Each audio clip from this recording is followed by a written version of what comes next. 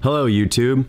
My name's Paul, and I'm about to take you on a journey of how I built my game room from start to finish. And as you can see, I don't have anything right now. It's just, it's blank. So I had to figure out what I needed. The first thing I wanted was a shelf. So I couldn't find a shelf that I wanted, so I made up a blueprint right here and then just built my own.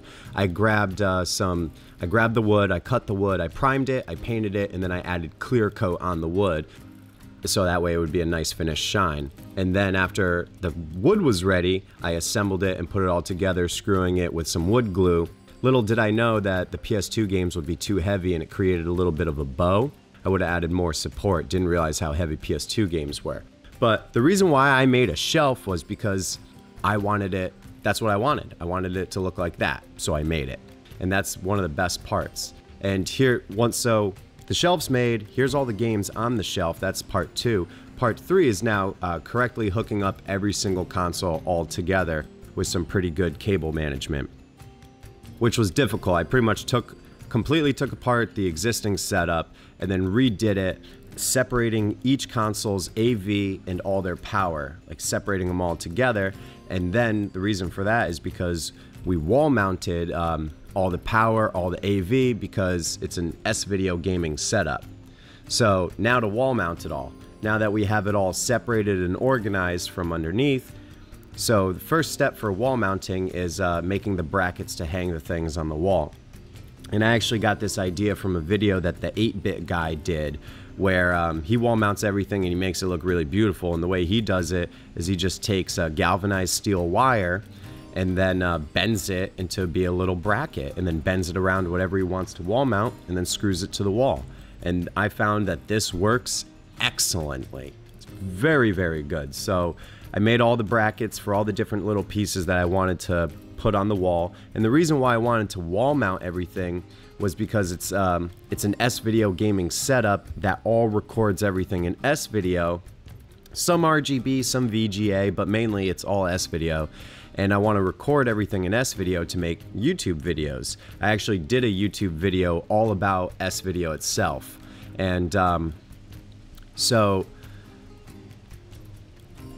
so now that we have the brackets made for everything that's going to get screwed to the wall, here we had to wall mount the, um, the power strips. And most power strips have holes on the bottom of them for them to be wall mounted. So all you got to do is take a piece of paper and just punch a hole where each hole is and then screw that piece of paper to the wall and then you'll have the mounts to just slip it onto the wall. And that works very very well.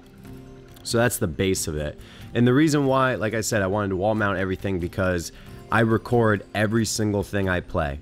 Every game that I play gets recorded to my computer so I can you know build up a huge log of all this gameplay footage and then make YouTube videos out of it because that's so much fun.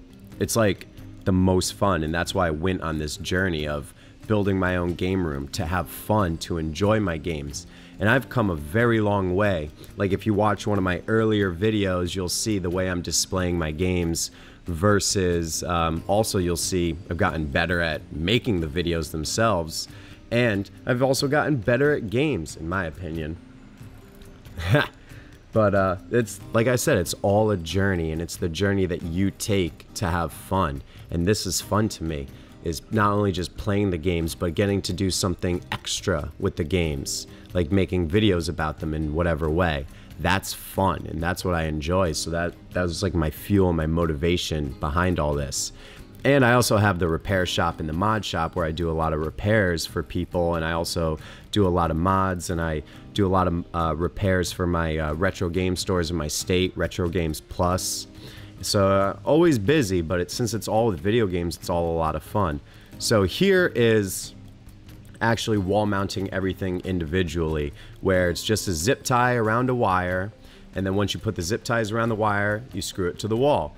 And we did it's not a specific design. This is literally random, like where all the wires are. I just didn't want there to be any slack. I didn't want there to be any slack, and I wanted everything hooked up together and never have to, you know, pull a wire out or do anything like that. And even mounting the PS2 power brick to the wall.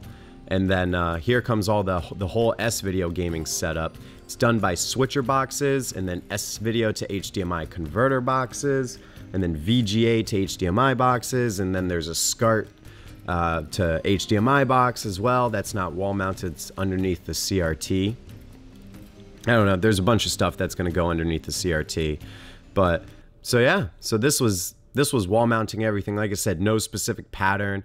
And then this was uh, the testing phase of putting it back and then making sure everything had enough slack to be connected before adding the final zip ties on it all. And then we pushed it all together. So that's it. I hope you enjoyed and I hope this gave you some hints. I do a lot of other videos. Subscribe uh, so you can check out what other videos I do.